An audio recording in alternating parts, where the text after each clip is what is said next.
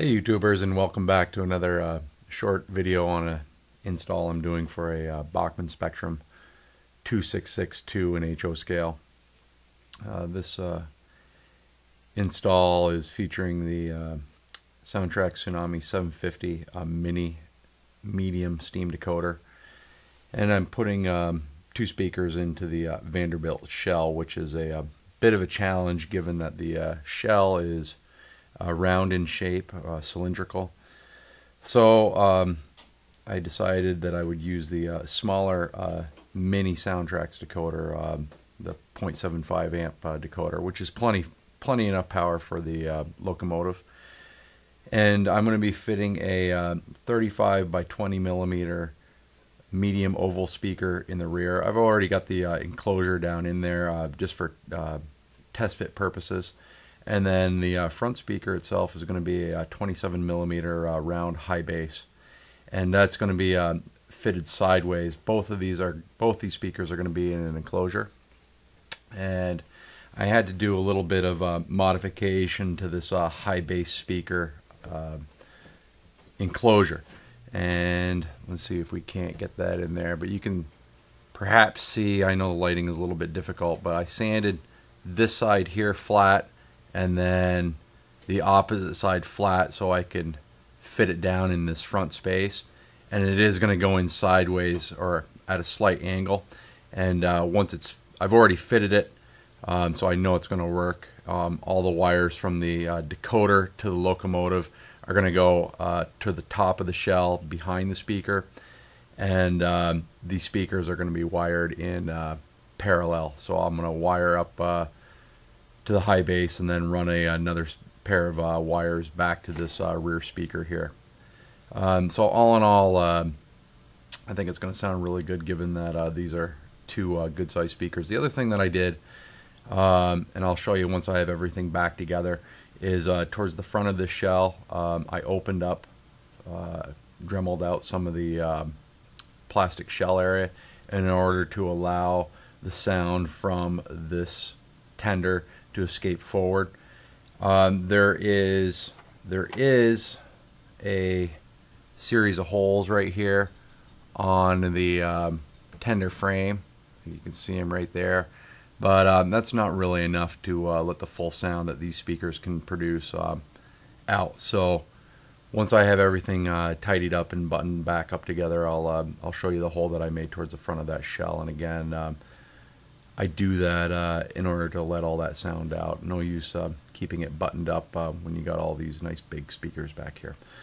So um, that's it in a uh, brief.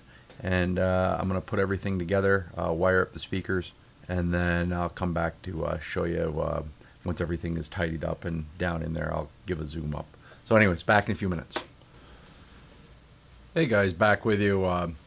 So I've got my wiring done uh, for this decoder install and I'm just showing you the uh, final end product before I uh, put the shell back down on the uh, tender frame.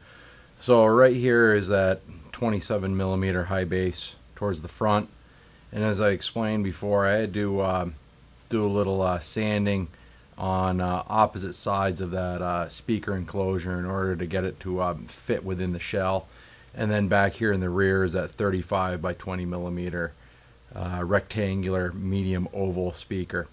Um, and both of them uh, just fit, no problems, uh, because I use that uh, SoundTraxx Tsunami 750 decoder.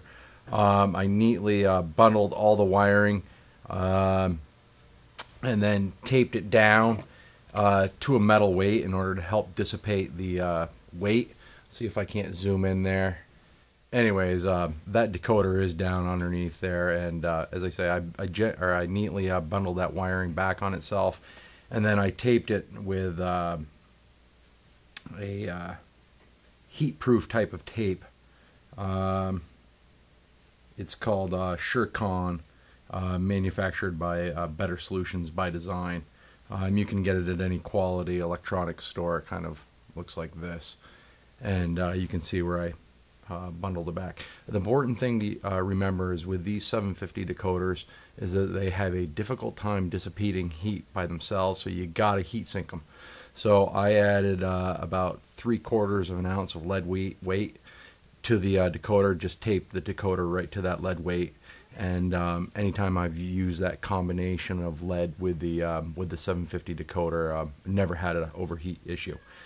So anybody, again, can't stress it enough. For those 750 decoders, got to use a heatsink to get uh, heat away, or you're just gonna run into problems. Um, so, anyways, uh, that's it. Oh, also, uh, just to show you what I did on the uh, front of the tender shell, um, I did open it up. So there's a um, fairly good sized hole right there that you can see.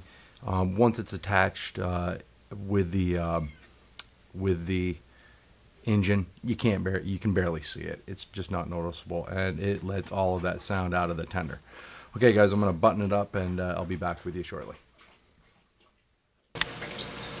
Hey YouTubers and welcome back. I finally got that Bachmann 2662 uh, buttoned up and uh, all ready to go.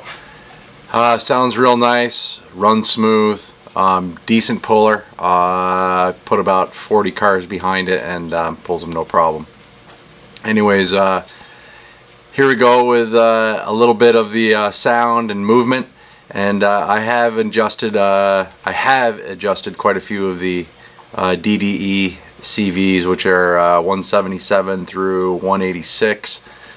Uh, it takes a little bit of playing. It's all uh, subject to what you like um, on those DDEs, but uh, I think they uh, do a nice job as far as uh, really setting up a nice custom sound for each individual locomotive. Anyways, uh, sit back, relax, enjoy. Here we go.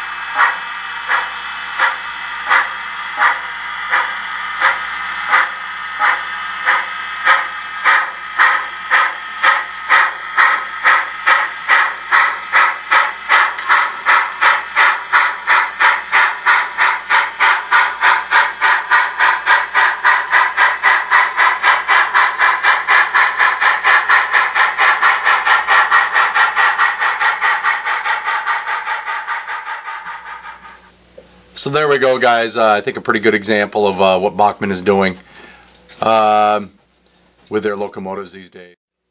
Anyways, uh, that's it for this one, and uh, hopefully the next time I get to present it to you guys, uh, it'll be fully uh, weathered painted up and ready for ready for revenue service. Anyways, guys, have a good night, and we'll see you later. Bye.